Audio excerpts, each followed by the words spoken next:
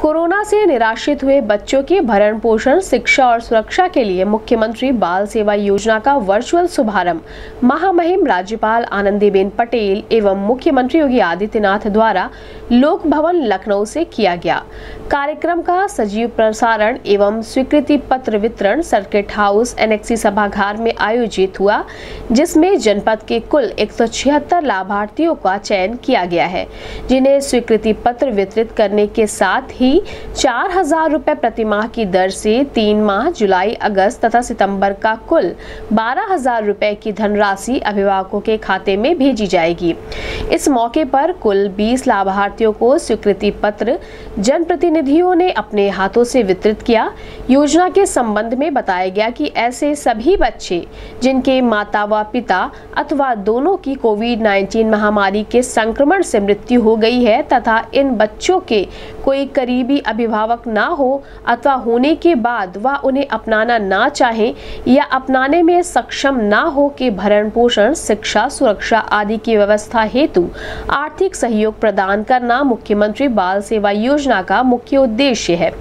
इस अवसर पर नगर विधायक डॉक्टर राधा मोहन दास अग्रवाल ने बताया कि निराश्रित महिलाओं एवं बच्चों के पुनर्वास एवं संरक्षण हेतु सरकार पूर्णता कटिबद्ध है।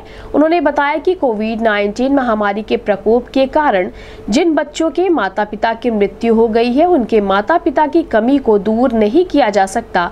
लेकिन प्रदेश सरकार उन अनाथ बच्चों के भरण पोषण, शिक्षा, सुरक्षा आदि की व्यवस्था हेतु इस योजना को संचालित किया गया है। ग्रामीण विधायक विपिन सिंह ने बताया कि इस योजना के तहत शून्य से 10 वर्ष के आयु के बच्चों के वैध संरक्षक के खाते में चार हज़ार रूपए प्रति माह की दर से देय होगी। इसके अतिरिक्त ऐसे बच्चे जो पूर्णतः अनाथ हो गए हो, बाल समिति के आदेश से विभाग के अंतर्गत संचालित बाल देखभाल संस्थाओं में आवासित कराए गए हो। कक्षा 6 से कक्षा 12 तक की शिक्षा अटल आवासीय विद्यालयों तथा कस्तूरबा गांधी विद्यालयों में प्रवेशित कराया जाएगा। विधायक चौरी चौरा, संगीता यादव ने कहा कि सरकार सर्वहित में कार्य कर रही है और गरीब, असहाय, निराश्रित आदि के हित में निरंतर अनेक जन कल्याणकारी योजनाएँ संचालित कर रही है। इस अवसर पर जिलाधिकारी केवजिन पांड्यन ने उपस्थित सभी लोगों का स्वागत करते हुए बताया कि इस योजना से आच्छादित ऐसी सभी बालिकाओं की शादी हेतु प्रदेश सरकार द्वारा एक लाख एक हज़ार की धनराशि उपलब्ध कराई जाएगी।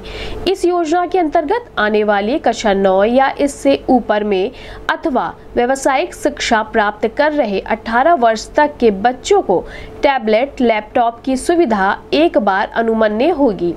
कार्यक्रम में खजनी विधायक संत प्रसाद, मुख्य विकास अधिकारी इंद्रजीत सिंह, बाल संरक्षण अधिकारी डॉक्टर सुमन शुक्ला सहित अन्य संबंधित अधिकारी तथा लाभार्थी व अभिभावक उपस्थित रहे। इस संबंध में गोरखपुर न्यूज़ से बात करते हुए नगर विधायक डॉक्टर राधा मोहन दास अग्रवाल और जिलाधिकारी के विजय पांडेन ने कहा।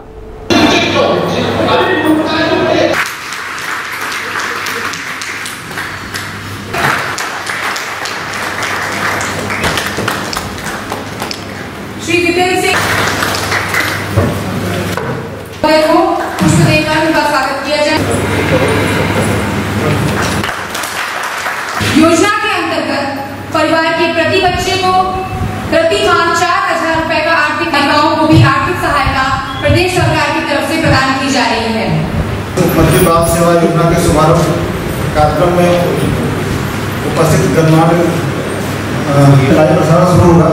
तब तक मैं अपने जनपद की इस योजना के अंतर्गत छात्रित लाभार्थियों के प्रति हम लोगों की पूरी संवेदनाएँ हैं। लेकिन चूँकि अब महामारी के दौरान इस आपदा में से कोई डेथ कर जाता है तो उसके लिए हम लोग जितना प्रयास था प्रशासन ने किया। लेकिन जो परिवार जिन्होंने अपने माता पिता को पूरा बच्चों ने उनके भरण पोषण के लिए स्टेट गवर्नमेंट ने प्रदेश सरकार ने उनके शिक्षा अच्छे से हो, उनकी पढ़ाई अच्छे से हो, उनके स्वास्थ्य देखभाल अच्छे से हो, इन सब उद्देश्यों से इस उत्तर प्रदेश मुख्यमंत्री बाल सेवा योजना लाई गई है, जिसमें प्रत्येक बच्चे किसी भी परिवार, जिसके माता पिता या दोनों कोविड से डेथ किए हों, उनके प्रत्येक बच्चे को चार हज़ार रुपये प्रति महीने की धनराशि उनके अभिभावक के खाते में प्रेषित किए जाने का प्रावधान किया गया है। जिसकी कड़ी में आज प्रथम तीन माह जुलाई, अगस्त और सितंबर की धनराशि बारह हज़ार रुपये नाबालिग बच्चों के खाते, बच्चों के अभावों के खातों में भेजी जाएगी। इसके अलावा भी प्रदेश सरकार ने ऐसे बच्चों के लिए भी और भी व्यवस्थाएँ की है, जिसमें जो बच्चे नौ कक्षा नौ से ऊपर की, कक्षा नौ या कक्षा नौ से ऊपर की कक्षाओं में पढ़ाई कर रहे हैं, उनके लिए जल्द ही टैबलेट या लैपटॉप का इस योजना के अंतर्गत वितरण किया जाएगा। उसके बाद जो बच्ची इस हमारी योजना में कवर हो रही है और 18 वर्ष की उम्र पूर्ण करने के बाद शादी की उम्र की लायक नहीं होगी। उस समय उस बच्चे की शादी के लिए एक लाख एक हज़ार रुपये दिए जाने का प्रावधान किया गया है।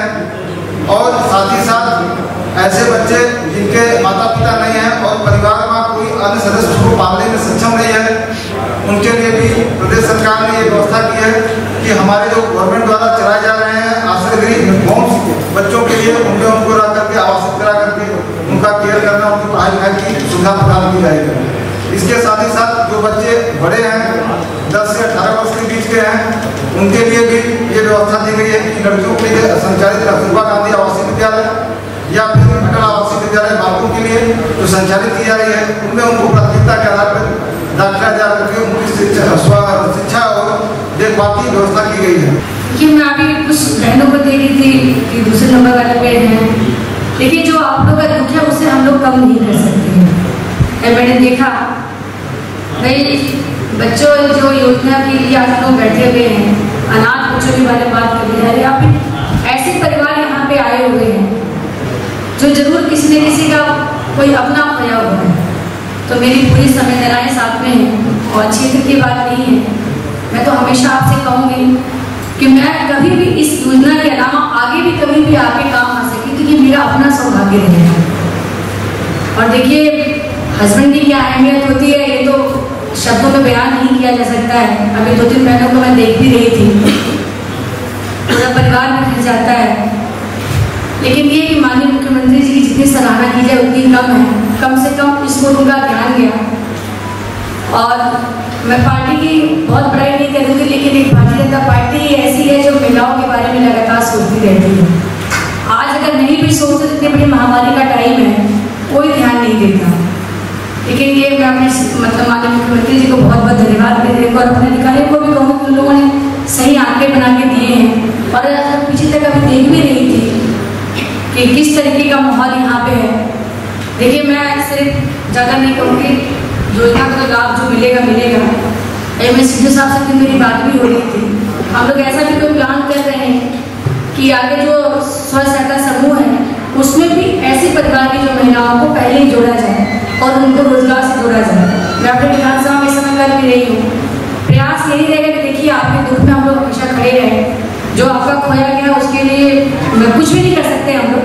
लेकिन प्रयास यही रहेगा कि सभी योजनाओं का लाभ आप तक पहुँचे। और मेरे अपने, हमारे उनके साथ से मेरी बात हुई थी। मैंने बोला भी था कि अगर ऐसी महिलाएँ फैमिली परिवार से कोई भी आता है तो आप उनको नियम कानून बताने की जगह एक समय संवेदनशीलता के आधार पर जितनी मदद हो सकती है उतनी मदद करें। जब तक संयुक्त परिवारों की अवधारणा रहा करती थी खुदा न खास्ता अगर माँ या बाप में से कोई चला भी जाए तो संयुक्त परिवारों में लोग हुआ करते थे जो उसे उसके माँ बाप की कमी का एहसास नहीं होने देते बहुत से बच्चे आपको परिवारों में जहाँ संयुक्त परिवार होगा आपको मिलेगी। जो अपने पिताजी को, पिताजी नहीं, बल्कि चाचा जी बुलाया करते थे, क्योंकि उनके बड़े भाई, उनके ताऊ का लड़का, उनके पिताजी को चाचा जी बुलाया था। घुल मिलकर सब रहते थे इसलिए घर में अगर मुख्य पालन करता भी उनके बीच में न रहे तो बच्चे का भविष्य माँ बाप की कमी तो कोई दूर नहीं कर सकता। परिवार कितना भी समर्पित हो, उसका स्थान नहीं ले सकता। लेकिन बावजूद इसके, इस भौतिक दुनिया में, उसकी भौतिक आवश्यकताएँ पूरी होती रहती थी। उसके खाने पीने की समस्या नहीं होती थी, उसके पढ़ाई की समस्या नहीं होती थी। अगर वो कभी बीमार हुआ तो उसका इलाज होता था। और उसे एहसास होता था कि हमारे पिता या माँ नहीं है, लेकिन हमारे लिए एक गार्जियन है जो हमारे पिता से अधिक हमारे लिए काम करता जैसे जैसे ये समाज बदला और हमारे संयुक्त तो परिवारों की अवधारणा कमज़ोर हुई है। परिवार अलग होते चले गए और हम लोग चूँकि सामाजिक क्षेत्र में काम करते हैं, इसलिए जानते हैं, जहाँ तथाकथित रूप से संयुक्त तो परिवार हैं, वहाँ उनके बीच की जो सीमेंटिंग होती है, जो आपस में आत्मीयता और स्नेह का संबंध होता है, वो कमज़ोर पड़ सकता है। बहुत से लोग इसमें हम, हमारे बीच में है। कोरोना ऐसी महामारी आई कि अचानक बहुत कुछ तहस नहस हुआ। इन साथियों, आपके मुख्यमंत्री जी ने, आपके प्रधानमंत्री जी ने इस महामारी से जल्दी से जल्दी राहत दिलाने के लिए दिन रात एक किया आपके मुख्यमंत्री जी कोरोना पॉजिटिव हो गए, दौड़ते दौड़ते। फिर भी जो निगेटिव हुए, उसी दिन से काम करने सरकार जितना हो सकी कोरोना काल में, चूँकि अब मेन मेन केंद्र गोरखपुर मजिस्ट्रेट की यहाँ पर बिहार से लेकर के आपके देवरिया, कुशीनगर, महाराजगंज आजमगढ़ बस्ती, हर ज़िले से यहाँ पे सेट आता था लेकिन कोशिश किया प्रशासन ने, हमारे हर एक अधिकारियों ने बड़ी मेहनत की। और हमारे जनप्रतिनिधि भी शायद कोई बच्चा होगा, ऐसा नहीं है कि हमारे आठ विधायक भाजपा के हैं। कोई ऐसा नहीं रहा जो कोरोना पॉजिटिव न हो। पब्लिक में रह के, लोगों की समस्याएँ सुन करके आपके दुष्कर्म में सहभागी बन करके प्रयास किया गया। आप लोग अपने बच्चों के लिए सोचिए, सरकार कितना करेगी? सरकार कितना बेहतर से बेहतर? क्योंकि मुख्यमंत्री जी का कार्यक्रम शुरू हो गया है।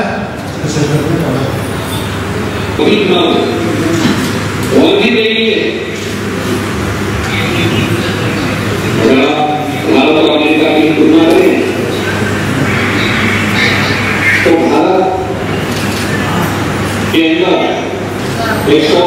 करोड़ की आबादी का देश हमारा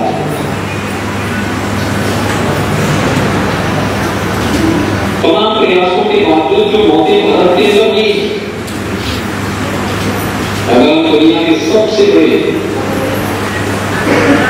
सबसे बड़ी ताकत के रूप में दुनिया के अंदर अपनी एक खबर रखने वाले अमेरिका से इसकी तुलना करें तो अमेरिका की आबादी, भारत की आबादी की एक चौथाई।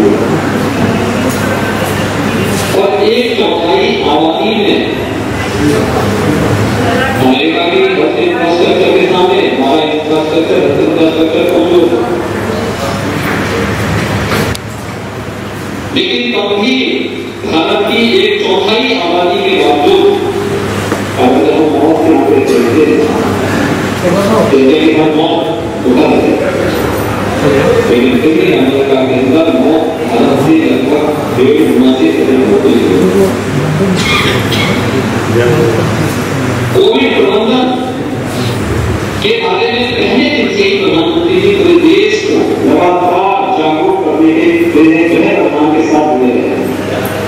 और समय समय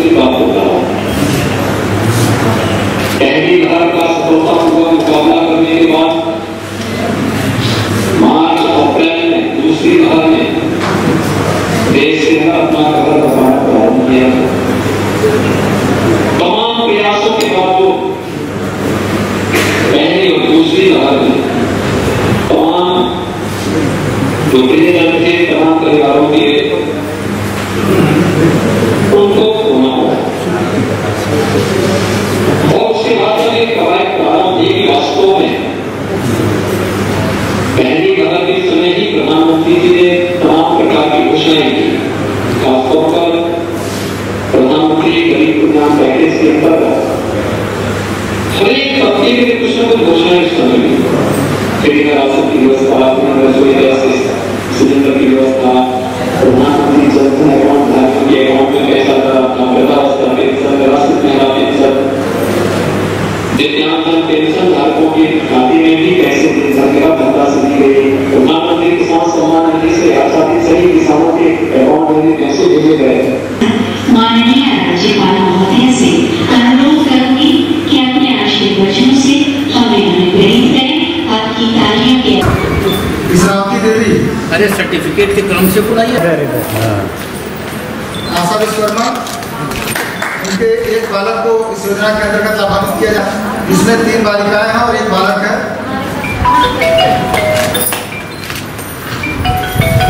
उदयासी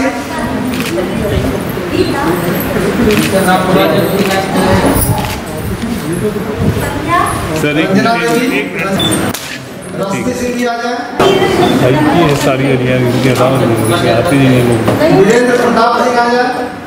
वीरेंद्र प्रताप सिंह। वीरेंद्र प्रताप सिंह। लाभान्वित किया जा रहा है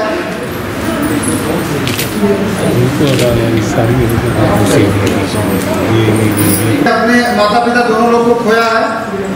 इनके इनके भाई को योजना के अंतर्गत लाभान्वित किया जा रहा है।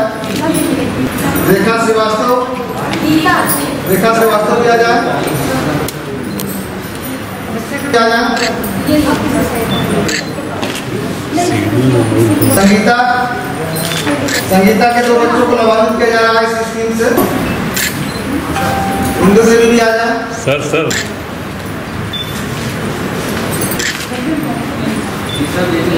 लाभान्वित किया जा रहा है। गुलाबती देवी कौन है उमेश सिंह। उमेश सिंह। और रीता देवी। तो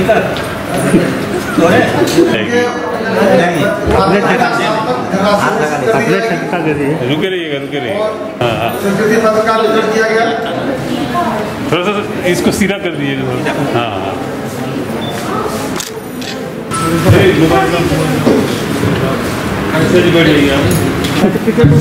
आइए ना आप लोग।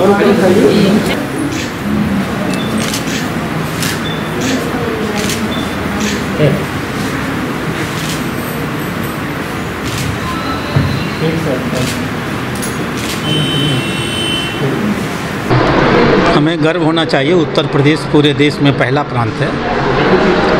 जहाँ माननीय प्रधानमंत्री मोदी जी के सपनों को ज़मीनी आधार पर साकार किया गया है। कोरोना के दुखद कार्यकाल में जिन जो बच्चे निसहाय हुए हैं, जिन्होंने अपनी माता या पिता को खोया है, हम लोग उन्हें प्रति माह चार हज़ार रुपये का अनुदान देने जा रहे हैं। प्रति माह जब तक वो 18 साल के न हो जाएँ।